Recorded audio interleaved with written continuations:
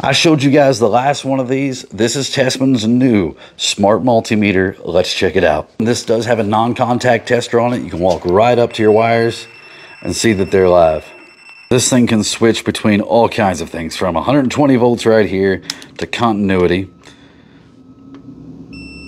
There's your continuity test. This should be a 12 volt door opener is what, what this is. Right there at 11 volts. This is a battery to my crane uh, crane remote rather.